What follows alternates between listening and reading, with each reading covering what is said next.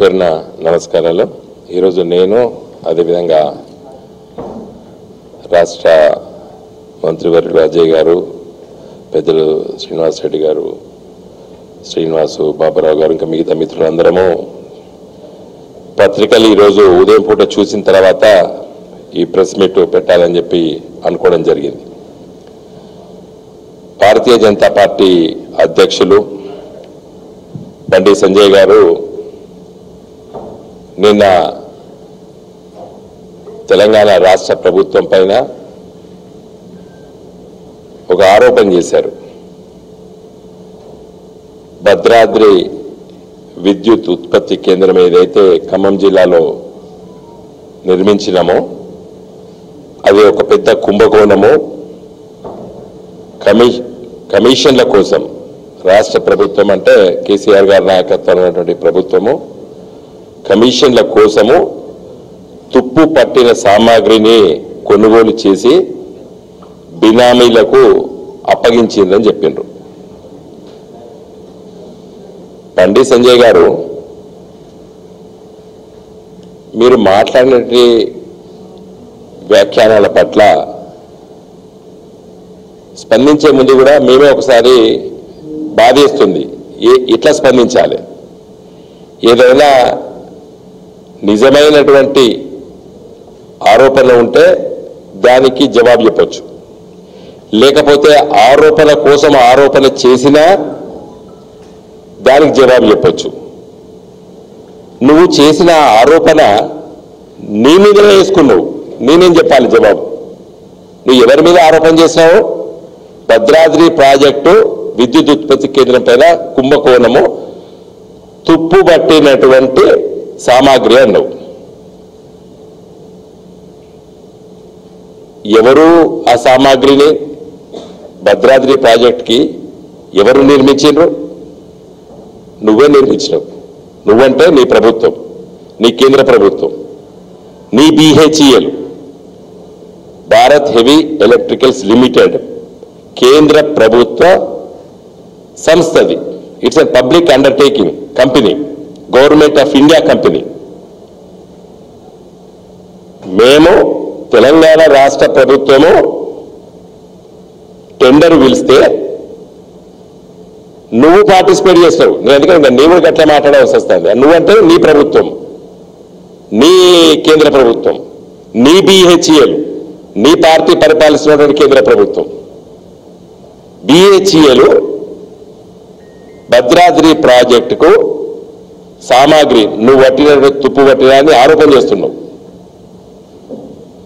దీంట్లో బినామీలు ఉన్నారు అని మాట్లాడినావు. నీకు పాపము బండి సంజయ్ మీరు ఆరోపణ చేసేటప్పుడు మీరు నీకు రాసిచ్చే స్క్రిప్ట్ రాసిచ్చేటోడు ఏం రాసిచ్చాడో ఒకసారి చూసుకొని చదవాలి ఇది నిజమా అని తెలుసుకొని మాట్లాడాలి. నువ్వు వేసుకున్న ఆరోపణ నీ మీదే వేసుకున్నావు నిన్న. నా నాకు జవాబు చెప్పవలసిన పరిస్థితి ఏర్పడే. తెలంగాణ రాష్ట్రము రెండు వేల పద్నాలుగులో ఏర్పడ్డప్పుడు రెండు వేల ఏడు వందల మెగావాట్ల అవసరం ఉన్నది లోటు ఉన్నది తెలంగాణకి. ఆనాడు పక్కగా ఉన్నటువంటి రాష్ట్రం పక్కన రాష్ట్రమైనటువంటి ఆంధ్రప్రదేశ్ ముఖ్యమంత్రి చంద్రబాబు నాయుడు పదిహేను వందల మెగావాట్ల ఉత్పత్తి తెలంగాణ రాష్ట్ర ప్రభుత్వానికి ఏదైతే ఇవ్వాలనో దాన్ని ఇవ్వకుండా నిలుపుదల చేసాడు. వెంటనే తెలంగాణ రాష్ట్ర ప్రభుత్వం కరెంటు కావాలి కాబట్టి అర్జెంటుగా రెండు వేల పద్నాలుగులో తెలంగాణ రాష్ట్రం ఏర్పడ్డది. తెలంగాణ ప్రజలకి కరెంటు కావాలి ఉత్పత్తి కేంద్రం కావాలని చెప్పి ముఖ్యమంత్రి కేసీఆర్ గారు టెండర్లు పిలిచి కేంద్ర ప్రభుత్వ సంస్థ అయినటువంటి భారత్ హెవీ ఎలక్ట్రికల్ లిమిటెడ్. అది భారతదేశ వ్యాప్తంగా పెద్ద కంపెనీ అది కేంద్ర ప్రభుత్వ కంపెనీ అది. ఆ కంపెనీకి టెండర్లో వారికి అంటే టెండర్ అంటే పిలిచి నామినేషన్ బేసిస్లో ఇవ్వడం జరిగింది. బిహెచ్ఎల్కి ఇచ్చినాం. ఎందుకంటే ప్రభుత్వ రంగ సంస్థ ద్వారా అయినటువంటి ఏదైతే మిషనరీ ఉన్నదో బిహెచ్ఎల్ ప్రపంచం లోపల చాలా పేరు ప్రతిష్టలు ఉన్నటువంటి బిహెచ్ఎల్ ఇస్తే నేను ఆ రోజు ఎంపీ కరీంనగర్ పీయూష్ గోయల్ గారు కేంద్ర పవర్ మినిస్టర్. ఆయన అంటాడు ప్రైవేట్ రంగ సంస్థలు చాలామంది వస్తున్నారు కదా వాళ్ళకి ఇవ్వచ్చు కదా అని అంటాడు. నీ నీ నీ నీ నీ మీ మంత్రి మేము గవర్నమెంట్కి ఇవ్వాలి. బిహెచ్ఎల్ కార్మిక వర్గం మరి వాళ్ళకు ఒక పని కల్పించాలి. పైపెచ్చు బిహెచ్ఎల్ చాలా మంచి మెషినరీ తయారు చేస్తుంది. బ్రాయిలర్స్ కానీ పంప్ హౌసెస్ కానీ లేకపోతే దానికి సరిపడేటువంటి ఎలక్ట్రికల్ సామాగ్రి అవన్నీ కూడా బిహెచ్ఎల్ ఫేమస్ ప్రపంచంలో పట. ఆమ్స్టామ్ అనేది కంపెనీ పెద్ద పెద్ద కంపెనీస్తోనే జీఈ జనరల్ ఇంజనీరింగ్ అమెరికా కంపెనీతోని పోటీపడి బిహెచ్ఎల్ నిలదొక్కుకోవాలని చెప్పి తెలంగాణ రాష్ట్ర ప్రభుత్వం కేసీఆర్ గారు ఒక ప్రభుత్వ సంస్థకి మరి పని అప్పచెప్పడం జరిగింది.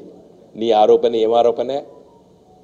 అంటే బిహెచ్ఎల్ ఇచ్చినటువంటి సామాగ్రి తుప్పుపట్టిన సామాగ్రి? ఏం మాట్లాడతావు? ఆలోచించి మాట్లాడతావా? ఆలోచించకుండా మాట్లాడతావా? నాకు అర్థమైతే లేదు నేను నీలాగా పదజాలను ఉపయోగించే బుద్ధి నాకు. ఏది పడితే అది మాట్లాడచ్చు అసలు. నువ్వు నేను నేను చేసిన వ్యాఖ్యానాన్ని బట్టి. కరెక్టా తెలుసుకోవా? ఈంత కూడా తెలుసుకోవా? ఒక ఎంపీవి నువ్వు. బీజేపీ రాష్ట్ర అధ్యక్షుడివి. భద్రాద్రి అంటే ఒక ఆరోపణ చేస్తే కేసీఆర్ పైన కేసీఆర్ కుటుంబం అని పేరు పెట్ట. ఏది పడితే అది ఆరోపణ చేయొచ్చా? దాంట్లో కుంభకోణం. ఏం కుంభకోణం జరుగుతుంది? తెలంగాణ రాష్ట్ర ప్రభుత్వము కేంద్ర ప్రభుత్వం జరిగిన మధ్యలో కుంభకోణం ఉంటుందా?